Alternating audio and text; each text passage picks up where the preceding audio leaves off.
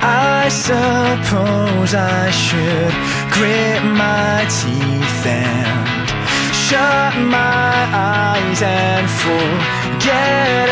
about it